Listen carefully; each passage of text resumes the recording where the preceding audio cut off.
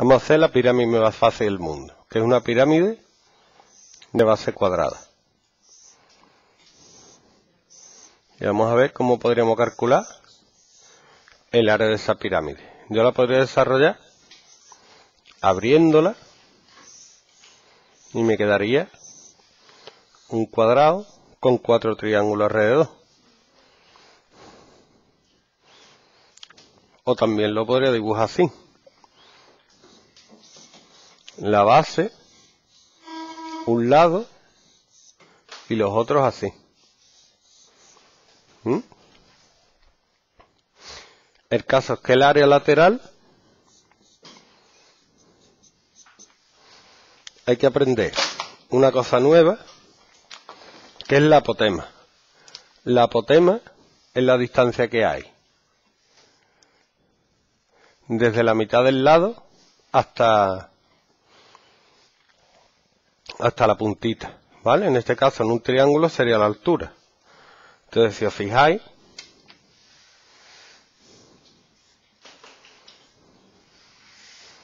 el área lateral, que sería el área de los cuatro triángulos, sería el perímetro, que sería la, base, la suma de todos los lados de la base, por el apotema, que es la altura, partido 2.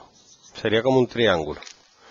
Base, que es el perímetro, por altura, partido 2. ¿Mm? Es una manera de verlo.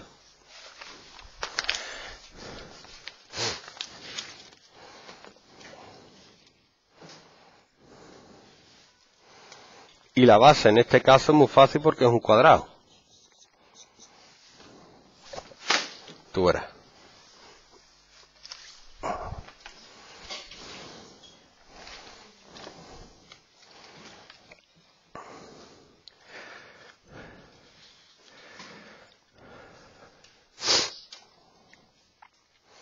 Pero aquí lo ponen de una manera que a mí personalmente no me gusta. Pero también vale.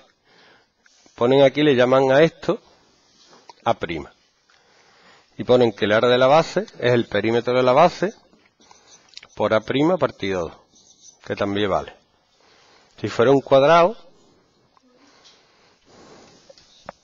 también me daría el área al cuadrado. Pero esto vale más para figuras que no sean cuadrados. Y cuando es un cuadrado un rectángulo, hago base por la altura. Pero si la base fuera un hexágono, por ejemplo,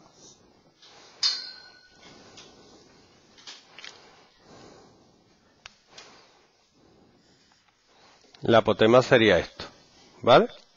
Y tendrías que calcular el área de la base con esa fórmula. El perímetro del hexágono por la apotema partido 2. No confundí esta con esta, el área total sería el área de la base más el área lateral, que sería el perímetro de la base por el apotema de la base partido 2 más el perímetro por el apotema partido 2.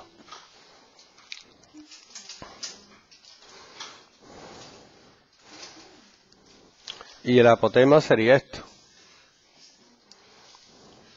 Entonces, el problema típico que os va a caer de una pirámide es que os van a dar la altura de la pirámide. Y esto lo vais a tener, y vais a tener que calcular la apotema de la figura. ¿Mm? Con Pitágoras. ¿Os suena o no?